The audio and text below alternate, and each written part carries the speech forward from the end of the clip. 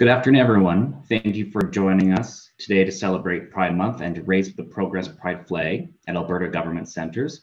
Before we begin, I would like to acknowledge that Alberta is on Treaty 6, 7, and 8 territory. The land holds a deep importance for the Métis people of Alberta, and Pride is a time when the LGBTQ plus uh, community comes together to celebrate our community, but also reflect on our community's history and to those who came before us who fought for our rights so that we can live freely and without prejudice today. But also that we use Pride Month to understand that there are barriers that are still needed to be broken down, especially for our friends in the Indigenous, Black, and trans community. I wish everyone a happy Pride Month and I hope they celebrate with friends and family in any way they can. I would like to now introduce Her Honor, the Honorable Salma Lakhani, Lieutenant Governor Alberta, to say a few words. Your Honor. Thank you, Dustin. Good evening and hello, everyone. It is my great pleasure to join you today for this wonderful celebration of diversity, inclusivity, and understanding. Events like Pride Month are extremely important because they remind us of the active role that each of us can play in fostering acceptance, support, and equal opportunity for all LGBTQ2S plus members of our communities our province becomes stronger with every step we take to lift up those around us and with everything we do to ensure that all Albertans are able to freely share the full measure of their spirit and their abilities. It is an ever evolving process, and there will always be more that we can do to make our society as open and inclusive as possible. This annual celebration is a great opportunity for us to celebrate the progress we have made together and to recommit ourselves to achieving even greater success in the future. As Her Majesty the Queen's representative in Alberta, I offer my heartfelt thanks to all the dedicated leaders and advocates across our province who are forging a path forward in this very essential work. The COVID crisis has been difficult for everyone, and I'm very aware that some members of our LGBTQ2S plus community have experienced additional stress due to isolation from the people and groups they would normally turn to for support. On that note, I would like to recognize everyone in the community who has been working on the front lines throughout the pandemic, and particularly those who have been focused on delivering healthcare, mental health, and social supports. Thank you so much to everyone who has been working to keep vital lines of communication and assistance open for those in need. Finally, I would like to recognize our wonderful host, the Honorable Leela Aheer, and her amazing team at Alberta Culture, Multiculturalism, and Status of Women. Heartfelt thanks to each of you for your ongoing commitment to fostering the true spirit of pride during this special month and more importantly, throughout the year. Thank you all. Please keep up the great work and happy Pride Month to all. Thank you.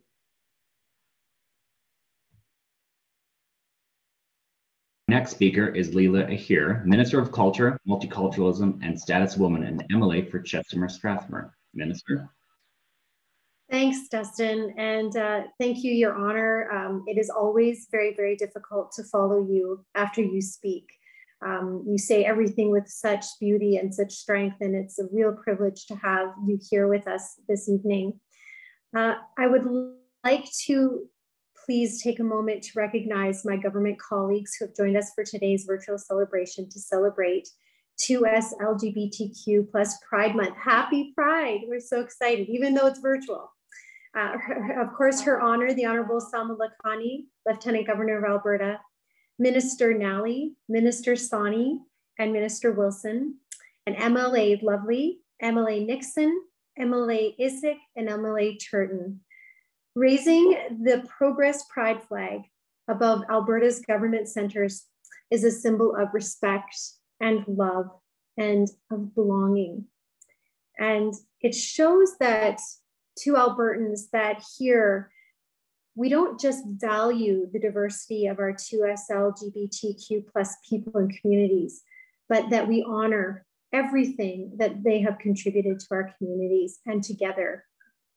And that we as the government and the people of this province stand with them firmly by their sides. Thank you so much for um, understanding what we have gone through this month and for helping us to postpone this Pride Month flag raising from June 1st to today. Uh, the flags of Alberta at the government, as you know, in the centers were flown at half mast for 215 hours in the memory of our 215 little souls who died at the Kamloops Residential School. We continue to grieve this loss and stand with survivors, and of course, work towards reconciliation. Pride Month is a chance to reflect on our history and to look towards the future. The rainbow flag was first designed to represent the diversity of the 2S LGBTQ plus communities united in their pride and in their pursuit of equal rights and freedoms. When it was first used in 1987 in San Francisco Pride parades, volunteers handmade their flags. And now this flag is used worldwide to show allyship and love. And today we were very honored to raise the Progress Pride flag.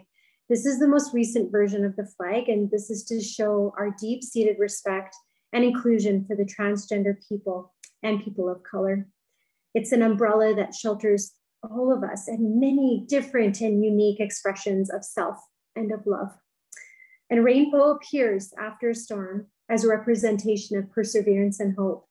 We have come so far from the Stonewall riots that inspired the very first Pride celebrations from San Francisco and that Pride parade. And this is the one that introduced the Pride flag to the world. But there's still, as her honor said, and I would also like to repeat so much work that needs to be done. I don't know about you, but I think collectively we draw so much inspiration from the bravery and determination of those who have really, really paved this path forward for us. And we commit to protecting and empowering all people in Alberta's 2S LGBTQ plus communities. I know, like yourselves, we need and desire Alberta to be a place where we don't have to fear for our safety because of who we love or how we express our gender. We collectively seek that Alberta is a place where two S LGBTQ plus Albertans feel free to be their true selves in all spaces. And so excited to be able to celebrate with you and I would hope that all Albertans will work to understand and respect and celebrate all of this diversity because truly it's a source of our strength. So I'm very proud, very proud to be able to work alongside the community leaders and members and advocates and allies because together we're going to build the most amazing future together. Thank you so much. Words. It is now my pleasure to introduce Chevy Rabbit as our next speaker. Chevy has been a long advocate for the two SLGBTQ plus Albertans and someone I actually have known since our Red Deer College days. In 2017, she was the first transgender person to be recognized on the Avenue magazine's top 40 under 40 list. She also founded the Hate to Hope campaign, which raises awareness about hate and discrimination towards Indigenous people. Chevy? Before I'd like to begin, I'd like to thank uh, Minister Leela Aheer of Culture and Status of Women for giving me this unique opportunity to talk about Pride Month. Uh, my name is Chevy Rabbit, and I'm from Ponoka, Alberta, and a member of Montana Cree Nation, which is one of four nations of Maskwacis. Um, I'm, I'm here to talk about Pride Month and how far we've come. My role as a advocate here in Alberta beyond human rights and hate crimes awareness is one as an educator. I spent a good decade ed- educating Alberta on gender identities and hate crimes awareness and building safe and inclusive communities so that people who are different, people who are creative and LGBTQ don't have to walk down the street without facing harassment, don't have to go and get groceries and make it a political act, you know. So part of my role is just creating that awareness and creating those safe spaces and also being a voice of change um, here in Alberta because we all deserve respect. We all deserve dignity and we all deserve mutual respect. And we've come a long way as a province, but we have so much further to go. And I'm really grateful for the roles that I've been doing this past decade, creating awareness through Hate to Hope, which is going on its 11th year. Um, I've spoke at countless colleges and school. I was the keynote speaker at the U of A Pride Week. And I'm also a board of directors of Hate Crimes Awareness, newly elected. And I'm also on the diversity committee for the RCMP of Alberta. And part of my role is to create safe places, safe spaces for LGBT people so they can go to work, so they can live, and so they can invest in communities that are accepting, loving, and caring and kind. And so let's all do our part and let's celebrate Pride Month, but let's walk our talk when it comes to it. Let's walk our talk in creating mutual respect conversations. Let's walk our talk in general. Thank you. Peace, love, respect.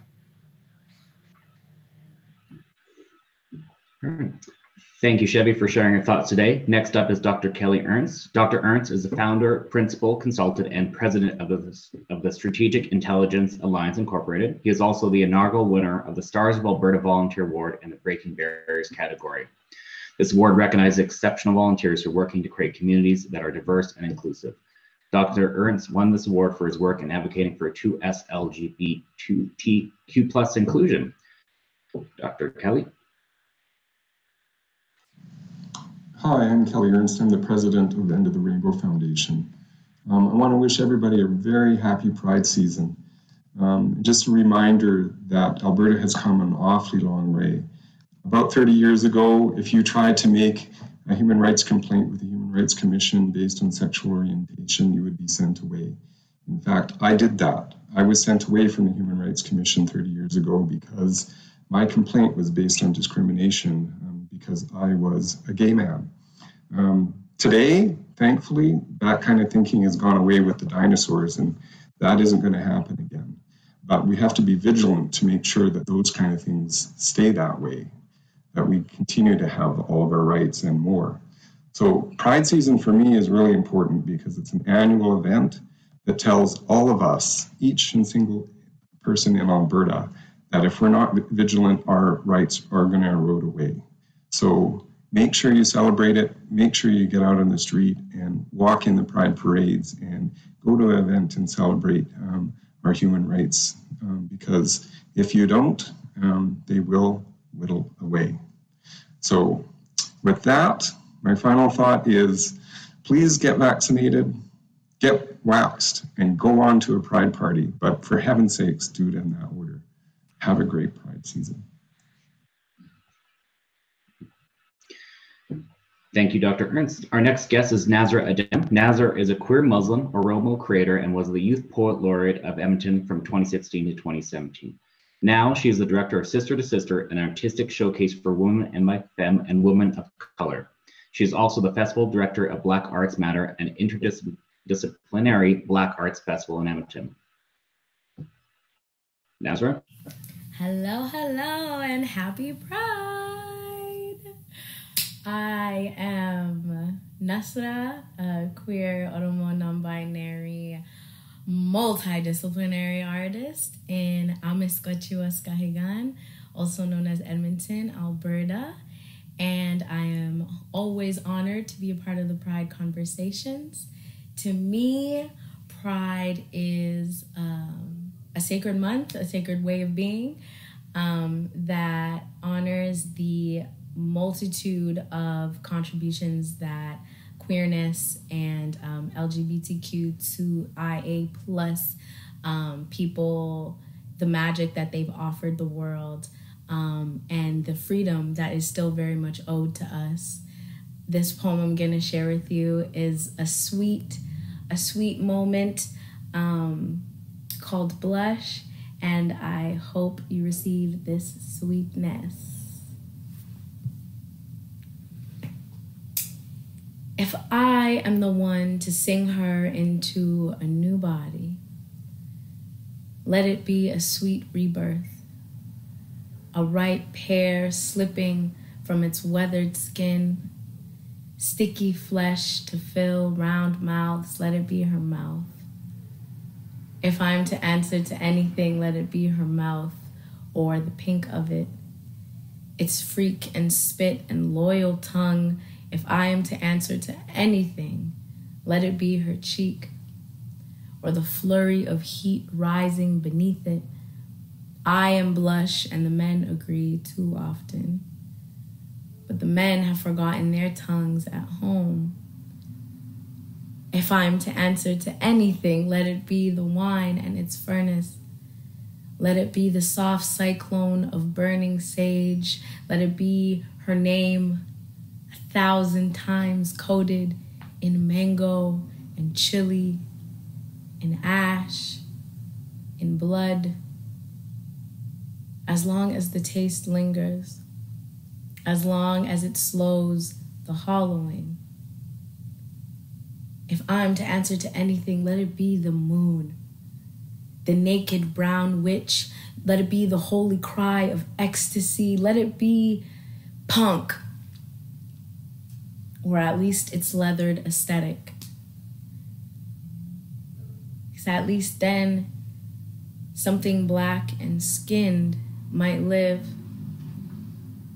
At least here, fire is alive. At least if we are burning, we are doing something.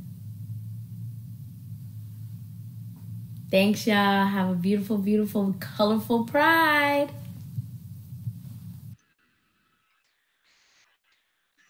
Thank you, Nasra. The Progress Pride flags were raised earlier today at the McDougall Center in Calgary and the Violet King Henry Plaza in Edmonton. Please join me now in watching the videos of flags being raised.